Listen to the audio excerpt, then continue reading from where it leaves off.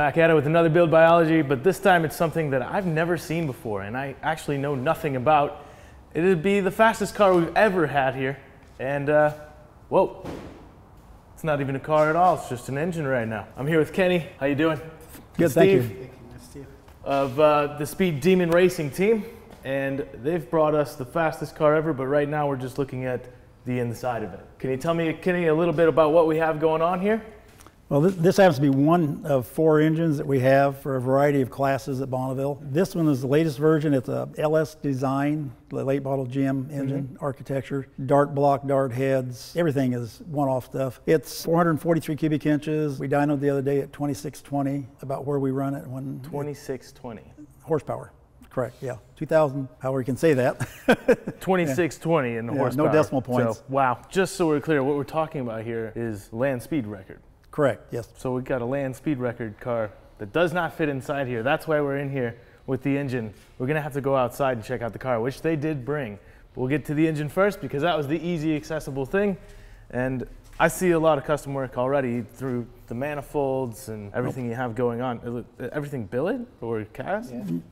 Everything's billet. The thing with an engine like this, there will be not one single bolt nut component that was built by OEM manufacturer. So Really? these are purpose built. We call them Chevrolets because we have the Chevrolet bore center on Sure, the engine. yeah. If you look the parts up in the catalog, it'd be listed under a Chevrolet. At the end of the day, though, they are just a specific built engine. The interesting thing about these engines is they deviate very little or not at all from a drag race motor. Mm-hmm. So this engine could very easily be used in a drag race application.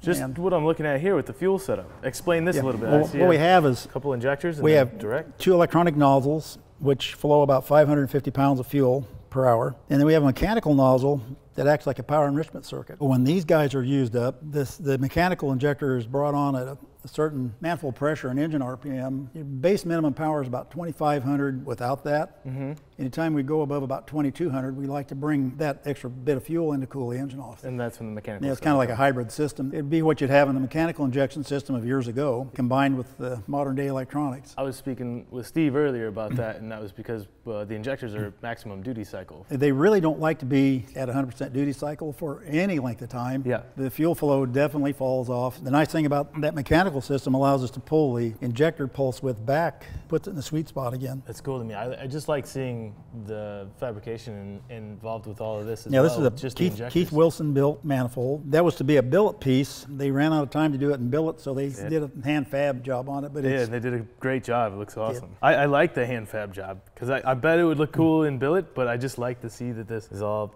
welded in and Mhm, yeah. Otherwise, it'd just the- be a nicely machined Yeah. piece of aluminum. and so you got a But we run beefed up coils, ignition as well. what you call coil near plug or mm-hmm. coil on plug Yeah. is, is the term. And we do that for a good reason because the actual timing is very, very good between events and between cylinders. Almost the perfect venue for that. These things, along with a good ignition box that we use, an M&W ignition, they'll fire just about any amount of fuel we put in the engine. That's crazy. Those are big boxes too. And I see everything is dry sump, Yes, it is a dry sump, Aviaid pump.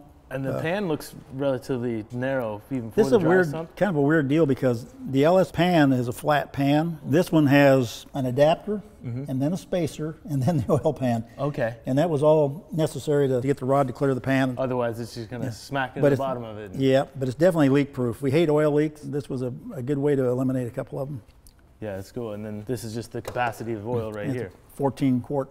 14 quarts. It's quite a bit, but I'd imagine at that amount of power and Mm-hmm. Displacement. the oil gets starts to get a little warm. These engines tend to keep a lot of oil up on the top. If you pull the valve covers after you ran it, the oil will run out on the headers. We actually have a plug or a drain in the back of the head really. right here. It's a, it's a small drain. As soon as you shut the engine off, it drains the oil level below the, the Oh, wow. valve cover rail. You can pull the valve cover off without having a mess. But there is probably a couple of quarts, three quarts of oil in suspension all the time. So you got a damper way back in here, which is kind of hard to see because of these plates. And these plates are pretty slick too. Yeah, this is this is the front motor plate that attaches it to the chassis. What is the duration that you guys run this? Like, like how long run- is it going to go? Typical five miles takes a minute and ten seconds. A minute and 10 seconds for five That's miles. from from the time the wheels roll on the car Mm-hmm. till he's closed the throttle at the finish line. and what speeds do you think you're going to see with, with this engine at? If everything works and the traction is there, it should exit over 460. So this motor, do you deal with anything as far as, as heat, or is it just so much air moving into The, it? the thing that we really work on the heat conditioning is the, the headers are wrapped with a titanium wrap to keep the what we call the engine bay temperature Yeah. normal. The cooling capacity for the water is up 20 gallons of water. No radiator involved. These hoses go to the water tank. Water is pulled back in the inlet of the pump here. Our water temperature will start at about 100 degrees and end at about 150. Wow, So that's it's really super not bad. Are you talking Celsius? yeah, no, no, we're talking Fahrenheit. yeah. Can't get me So there. that's that's really cool. Yeah, it's, it's not bad, really. The intercooler is 16 gallons of water in the intercooler, and we put 10 bags of ice in it, 10 pound bags, Wow. and it melts all the ice in the run. Hmm.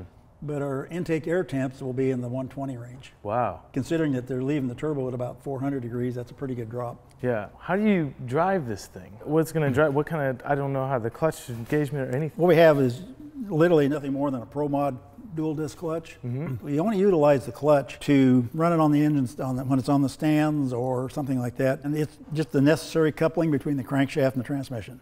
He would not be able to push the clutch in at any kind of RPM because of the centrifugal effect of the counterweights. And I know that the gearing on these is just wild. To get this started, you can't you can't just drive it out, right? It has to be pulled or I towed? suppose you could. Uh, we worked through that scenario over the years where you had to push it up to 70 miles an hour to pull away because it had a 180 mile an hour low gear. When Craig Liberty agreed to build a seven speed clutchless transmission for us, we just put a, a really low, low gear in it. So at 30 miles an hour, the driver just pokes it in gear and just takes off. And how hard will this accelerate then? Because it is it It's heavily in traction control up to 400 miles an hour or better. Everything's really modulated then. Yeah, we work with the boost because you have to control the boost because you can't just throw it all at it at, at once. And then we have the ability to control the wheel speed. Between the two of them, it's just a, a match for the speed. You know, if you get 7% wheel slip, you'll have that 7% for probably the first four miles. Wow. And it'll dumb the power down significantly to keep that wheel slip in that range. I'm just getting excited to see the car now because I've not really seen too many motors in here that are over 2,000 horsepower. It's cool to see this sitting on a stand ready to go in, but I'm interested to see what we have going on outside.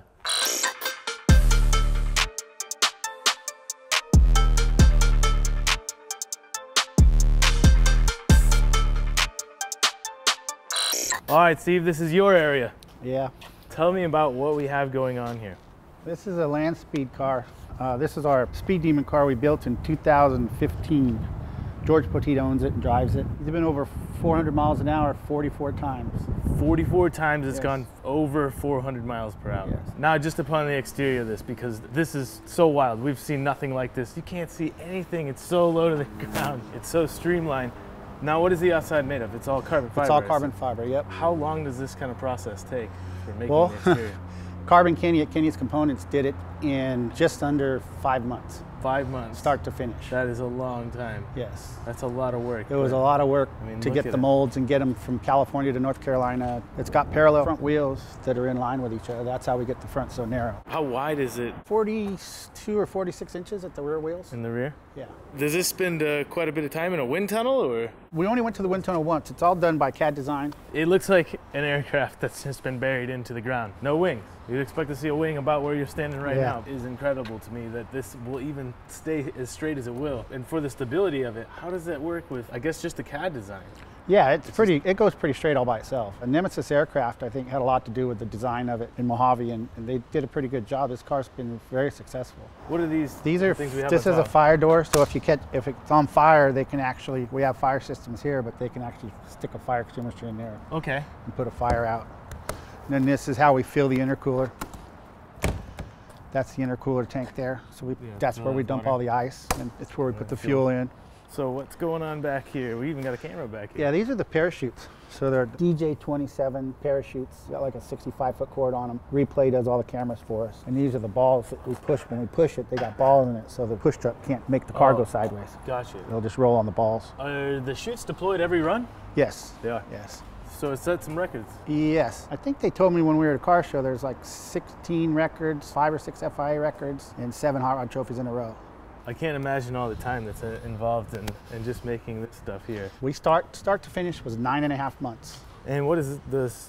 What is this for? We went to the wind tunnel. We had an actual airfoil on here. Okay. wings that are on each side. We could actually generate another 800 pounds of downforce. hmm But that's going to create drag. We went out without it, and we right out of the box, the first run it went 406 miles an hour or something. I'm like, well, why would we screw up a good thing? Yeah. All of this is pretty easy to take off, it looks like. Yes, we could have this thing apart in about five minutes. Wow, that's cool. And this is the exhaust. Yeah. And it's just coming straight off the turbos then. Yes, and it generates quite a bit of downforce. The, the exhaust Yes. does. So that's why the placement was there. That's a calculated placement for the exhaust. Yes, and it's also calculated for the air intake too. So on on the CAD design on the on the wind tunnel, this is a big red area right here, which means it's high pressure. So Mm-hmm. Yeah. it's a perfect place to suck the air from. And you have a battery source down here. We plug in here. We have a battery charger on board. So Mm-hmm. we just plug 110 in there. You turn the power on, and these are our quick release for the hydraulic jacks, Oh, okay. so we can lift the car Yeah. up, put the wheels on. Because this is obviously not going to go anywhere where it is right now, except for on the soft flat. Yes. Now, about the cockpit.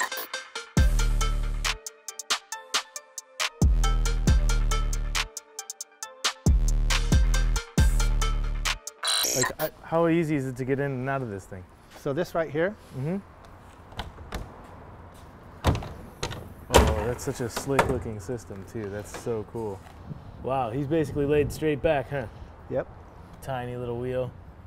Wow. Three pedals down there. Runs a Motec?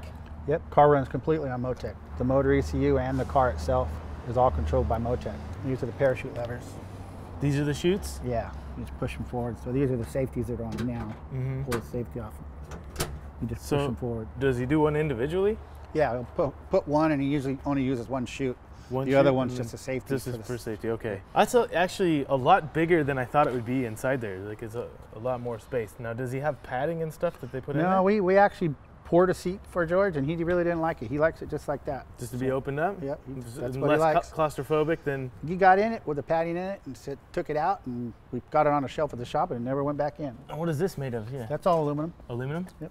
And all this is as well. Yeah, yeah. A gentleman by the name of Larry Stork did all the interior work for us. Man, that's a, and that's all the visibility you have out of there. That's pretty yeah, cool. you just look at a mountain 25 miles away and aim for it. 25 miles away, that's your target. and that Yep. comes up fast, I'm sure. It gets bigger a little bit when you get there, but it's still it's it's easy to focus on that and, and go that direction. And you were saying at top speed, you guys are seeing eight seconds in a mile? it's like 7.87 seconds for the last 7.8 seconds for one mile. That's incredible. That's cool. I like how this opens up. It's so slick. So I guess when you're in it, you just pull Yeah, this. you have a, a heel stop there, and then you pull up on this bar and you just hop out of it. Well, you say that you can take this apart in five minutes, and I know it requires a huge team because you guys brought a huge team. Yep.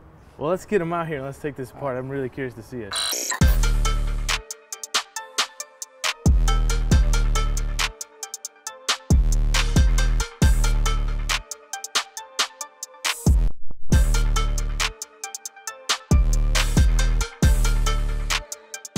Right, Shane.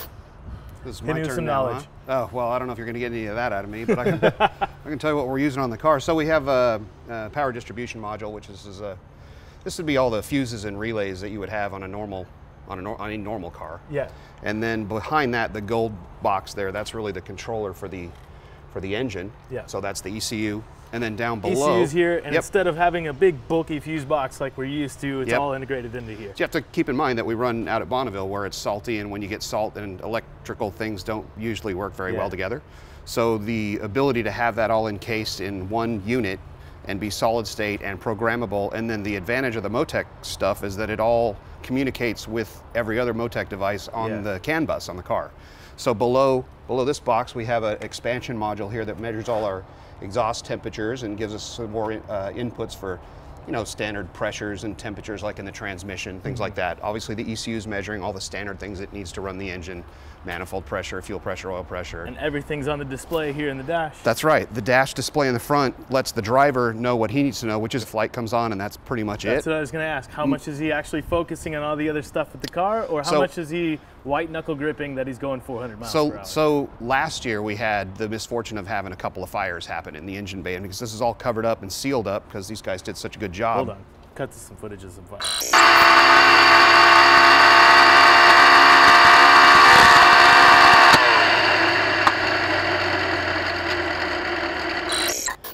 Because this is all sealed up and these guys did such a good job of making sure that nothing could get to the driver, he, it's on fire and he has literally no idea. I mean, it's like it's on fire starting at the two in a small corner in the back back here. And by the time we get to the other end, it's, it's a great video. Yeah. But unfortunately, it's a lot of work to replace it all. So we mounted, a, overnight, we mounted a backup camera here on this Okay. pod that looks towards the engine bay. So after about 100 miles an hour, I have the dash switch to the engine bay shot.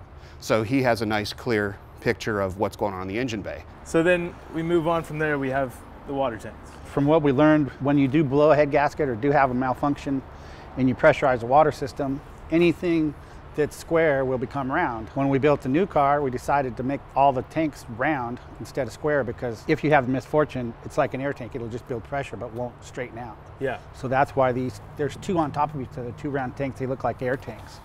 And they have two blow off valves, two inch blow off valves set at 35 pounds. So once it gets more than 35 pounds, it's supposed to blow off. Usually, if you have a problem, I don't mind water blowing on the engine. Yeah, So- just to cool everything down or extinguish a fire. Yep. You can see there's a pump here, right here. This is the water pump there. Mm-hmm. Yeah. It's got a line. It goes to a sprayer right here. Okay.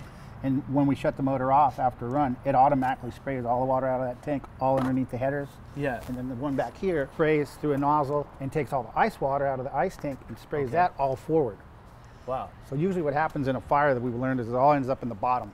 Because if oil leaks and comes out of the motor and catches fire, it's always in the belly pan. So the more we can extinguish that, then Hmm. So our that would just extinguish anything after the run. Here's the blocks, the pins Yes. that you just have to take Yes. out. And, yeah bolts. We undo the tranny, slide the transmission back, undo a couple of hoses, motor will come out. We could probably do a motor swap in just over an hour. looks crazy to me because you can take all this out. Yes. That's, that's cool. Yeah. I really like the way that looks. What size turbos are these? They're massive. They're what they call ProMod 88s, 88 millimeter inducers. They're commonly used in NHRA ProMod drag racing. It's a, a spec turbo for the category, and they're capable of 3,000, maybe a little more Hmm. as a pair. Our, our hope is we can put them on little engines and run a lot of manifold pressure and see that 3,000. Sure. And how much boost is, is this current setup running? We'll probably run this engine at 65 pounds. That's a lot of boost. Obviously, because it's a smaller displacement engine, your, Mhm. your pressure goes up. What might be 65 on this one might be 45 on the LS style engine. What do we have going on down here? Yeah, that's the trans controller. That is a logic board that allows a single input from the solenoid and the electronics, sends CO2 to like basically a counter. We start off in low gear and then the ECU goes, okay, it's time to shift. Driver hits the button or the ECU shifts it. Uh, sends one signal pulse into that counter that counts to the next set of gears, changes all the CO2 routing to the next arm inside the transmission, puts it in that gear. And then the mere fact that it shoves it into the gear that's spinning faster makes it kick out the dog kick loose Yeah. on the gear in front of it. And that's it just works its way to the next one to the next one to the next one. So this this board is all a pneumatic logic board that allows that to happen.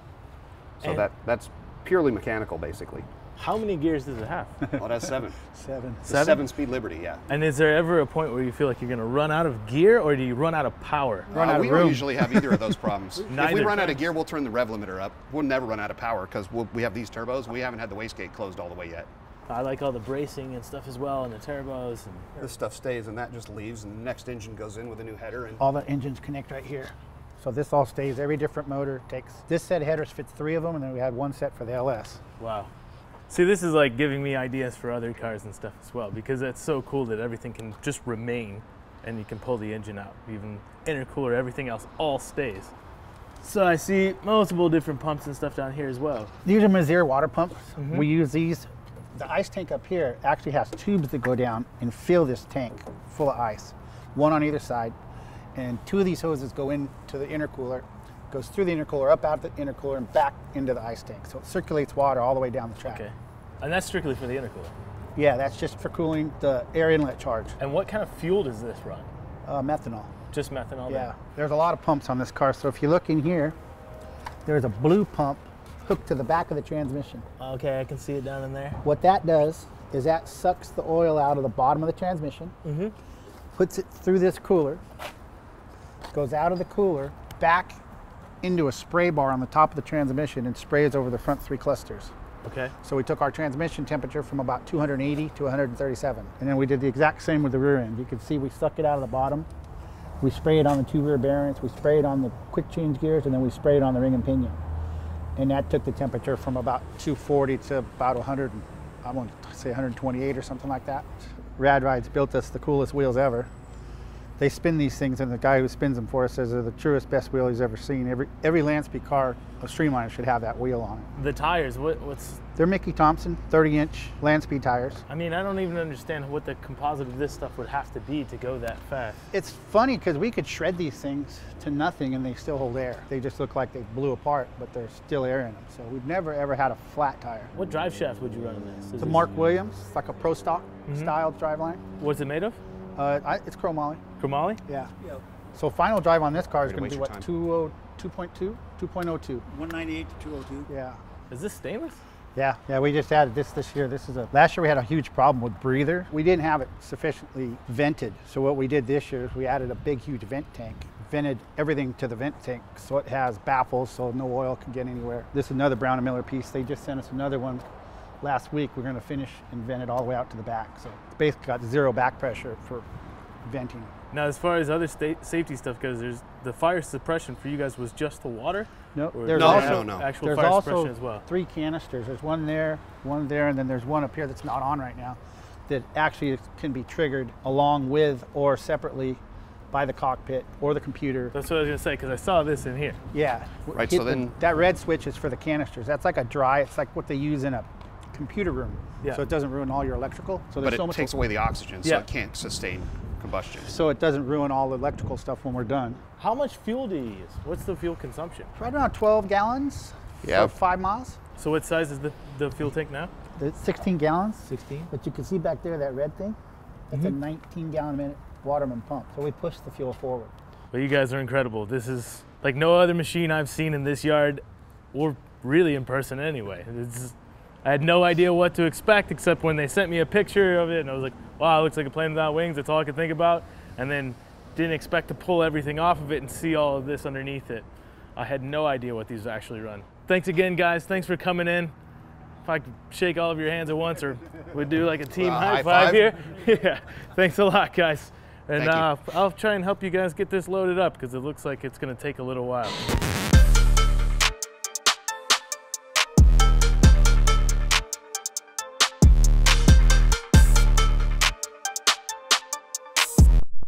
We give this to everybody that comes in here.